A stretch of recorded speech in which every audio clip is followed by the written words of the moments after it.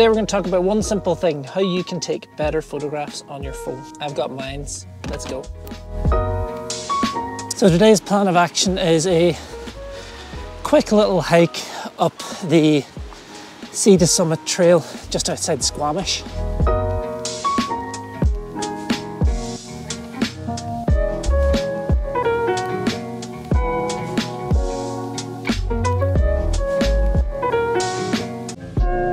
So, we're back.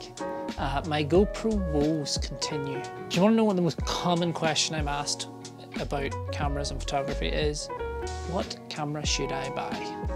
Always like anybody who finds out you're a photographer, the first thing they do is go, oh, well, what's a good camera? Like, what, what should I do with that? And 99% of the time, I tell people to just use their phone. Even with all the gear that I have, I do find myself falling back to just using my phone to shoot. There's many reasons that I do that, and there's many reasons it just makes sense. I mean, phones are lighter, they're smaller, they're in your pocket, you carry them with you everywhere, so you've always got a camera on you. So before I start blabbering on about computational photography and all that crap, let's get on to some things that will help you take better photos with your phone. To be fair, these can be all applied to your camera as well.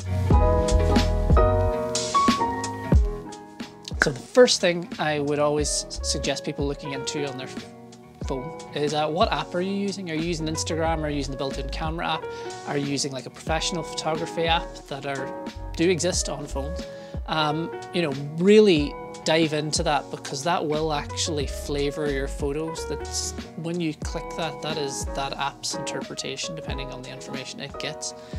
For example, the Google Pixel 7, which I use, uh, the built-in Pixel camera app is a great app, but there's one setting you can't turn off on it on the Pixel 7, and that's HDR. I don't like HDR. I like getting a natural image and then putting my own stamp on it. And that doesn't allow me to do that. So I default to Lightroom in situations where I want to have that little bit more control and where I want to get like a more flat image out of it and do work on it after. It means I can get more control over the shots that I want. This internally then brings me on to getting to know the app that you're using. So with an app like Lightroom, you've got all the manual control over it, minus aperture, depending on the phone you have. You can just go in and mess around with your shutter speed. You can set it for as long as you want. You can bam that ISO number up as high as you want, make the photos look grainy as shit, and then you can edit all that in app. Now, the more you get to experiment with these things and learn how photography works, that is a great tool just in general because it means that that's stuff that you can directly carry over into your enthusiast level camera or, or when you jump into something with manual settings as a forefront feature on that camera. And all those things, they're the same across all devices. So it's a really good learning tool to know all that stuff anyway. So number two, moving on from my manual settings and all that sort of stuff. Uh, the second tip that I have really does revolve more around yourself. Phones can be a bit tricky to hold, to be honest. They're not ergonomic when it comes to holding them up and taking a photo. It's like a little tiny thing. You have like that much surface area to grip. So in general, they're not as stable. So you need to stabilize yourself. Now, if you can get a portable tripod, brilliant. Set it up on a stable surface. If you can lean it up against something, give yourself three points of contact against something that will really help just flatten everything out. You want a steady shot to begin with. And if you're going to be using auto, sometimes the phone might bring that shutter speed down that it just blurs everything. So making sure that you have a steady footing and you're safe will do amazing things for your photography. As well as that, if you do have like a mobile tripod or something, that's fantastic because it enables you to experiment more with maybe a long exposure and all that sort of stuff as well. Number three, this is kind of more of a general photography principle. Learn composition. Uh, one of the best things you can do starting out in photography is turn on grid lines on your camera and learn the rule of thirds. It's probably the like most basic thing that I always tell people to do. They'll come to me with their phone and I'll be like, okay, how do I take a good photo? And just to give anybody like a little like crash course in photography, if I have like two minutes with them, I'll just be like, okay, bring out your phone, do your, and just do go over the rule of thirds with them. That is one of the best things you can do is just learn basic composition and turning on the grid lines on your phone is actually a really good way to force yourself to think about that every time you open up your phone. How am I how am I setting this up? Where are the people in the frame? Where's my subject? Use light as much as you can for number four. Yes, some of these phones can do amazing things in the dark, but the inherent small sensors of these devices just mean they don't really perform that well in the dark.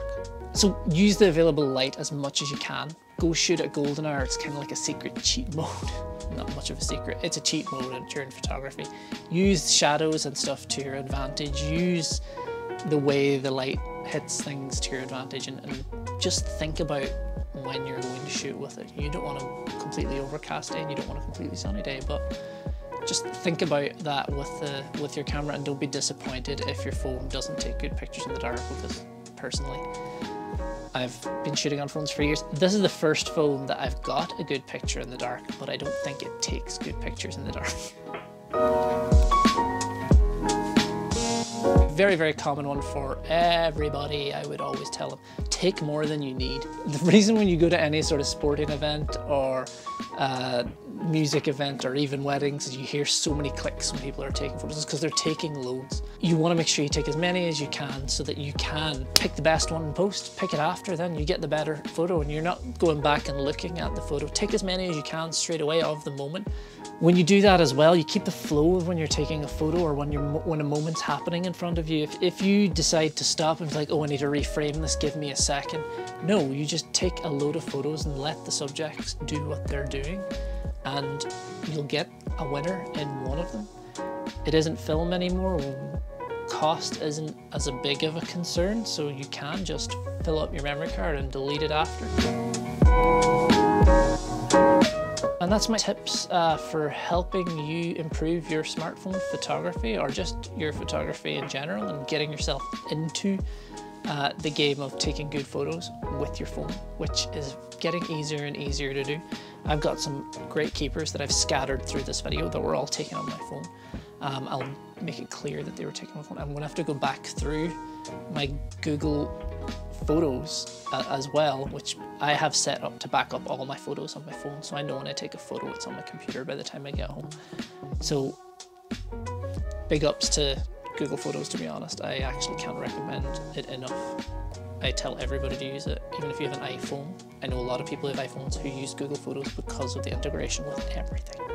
It's so easy to use. Um, yeah, but if you enjoyed the video, leave a like, subscribe, it's always helpful. Uh, comment below if you have any tips that you think I missed, or you just have any tips or additions to the stuff that I have uh, discussed, or if I made any errors. Yeah. That happens. I do my best. We're all human. Anyway, have a good week. I have some other videos coming. Uh, I'm going away for like a week and a bit in May. But you'll see that on here. That will be.